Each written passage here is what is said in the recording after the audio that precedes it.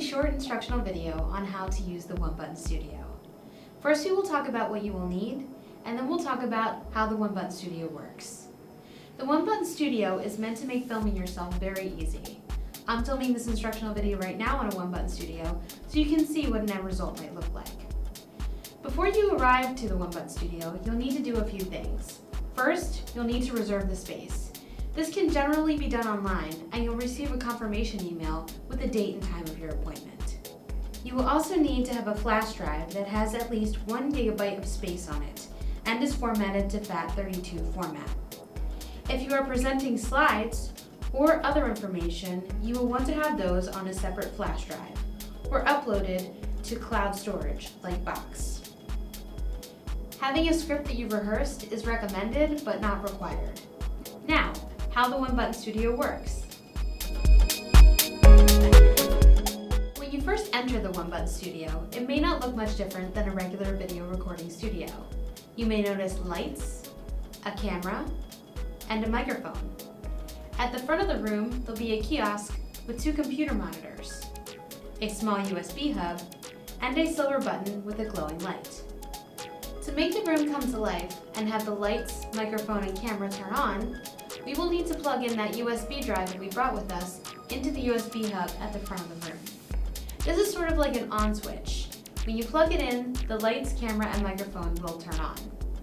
One of the monitors at the front of the room will switch from the One Button Studio instructions to show you what the camera is capturing.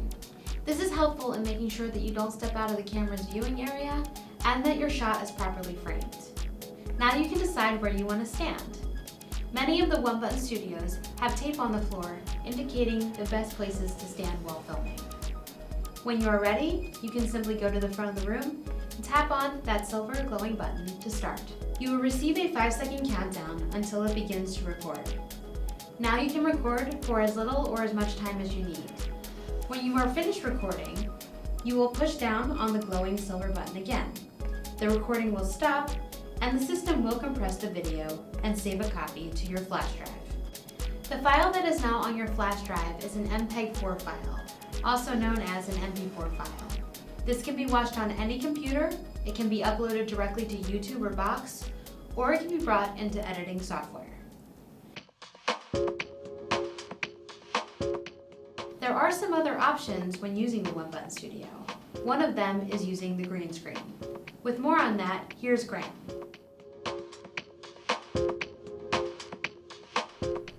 Back of the One Button Studio, you'll notice a gray background. You can use this to record your entire presentation if you'd like. However, if you would like to incorporate the green screen effect to change the background, either to a picture or a piece of footage, you can do that as well. You will need to turn on the One Button Studio as we have discussed, and then switch on the Reflecmedia box by flipping the small silver switch to the left. The Reflecmedia box is usually located on the kiosk in the room. This will turn on the green screen effect.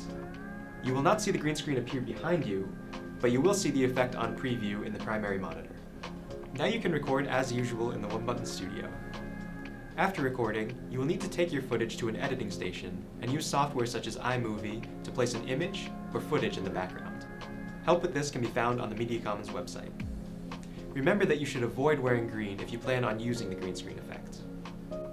And now, back to Carla, who will introduce our last recording option in the One Button Studio.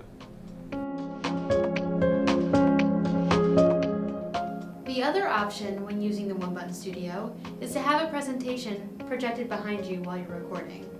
To do this, you'll turn on the One Button Studio as we have already seen, but this time you're going to use the other monitor in the front of the room. On that monitor, you can open up a presentation from PowerPoint, Google Slides, Keynote, Prezi, or something similar. You will need to make sure that you turn on the projector in the front of the room by using the remote that is supplied there.